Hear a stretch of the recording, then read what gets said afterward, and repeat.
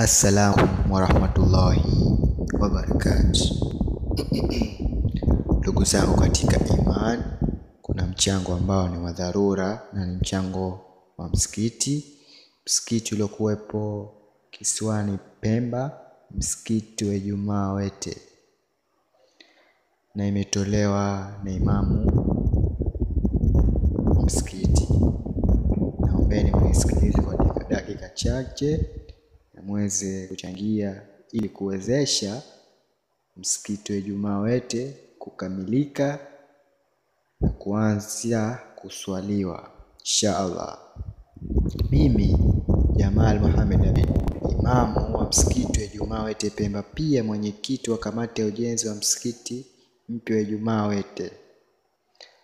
Nachukua nafasi hii kuwataarifu Waislamu wote, tumeanzisha mchango maalum wa dharura kwa ajili ya shughuli za ujenzi wa msikiti huo. Tumeanzisha mchango huu kwa vile fedha ya ujenzi imepungua sana.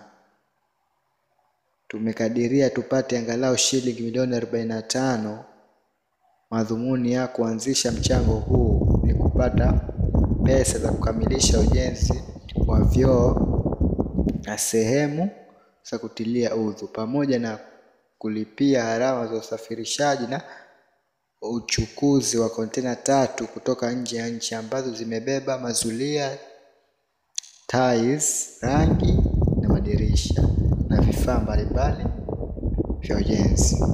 Kwa hivyo machache tumependekeza tupate Waislamu elfu moja na mia tano popote walipo duniani wachangie elfu thalathini kila mmoja au atakayojaaliwa ili kufikisha zoezi letu.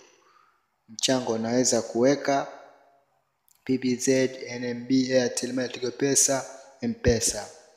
Kwa upande wa PBZ Islamic Benki namba ni sufuri saba tatu mbili moja tisa sita ziro ziro moja na jina msikiti wa Ijumaa Wete. NMB mbili ziro mbili moja ziro ziro moja tatu saba moja nane jina msikiti wa Ijumaa Wete. Kwa hizi pesa kwa namba sufuri saba saba sita moja nane moja tisa saba tisa. Abdalla Abeid jina. Airtel Money ni sufuri saba nane nne tatu nne moja tisa tisa tisa na jina ni Abdalla Abeid. Kwa upande wa Tigo Pesa ni sufuri sita saba tisa tatu tisa nne mbili nane moja. Na kwa jina ni Jamal Abeid.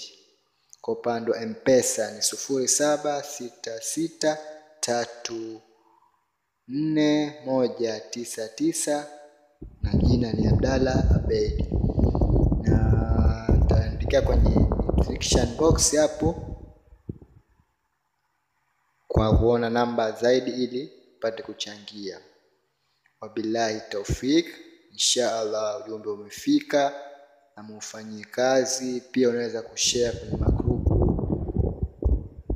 tofauti ya WhatsApp, Facebook, Insta, TikTok kwa msaada zaidi na msaada kwa Waislamu wetu wa upande wa kisiwa cha Pemba Wete, insha Allah tuweze kufanikisha kuchangia kuweza kumalizika na Waislamu waanze kuswalia insha Allah.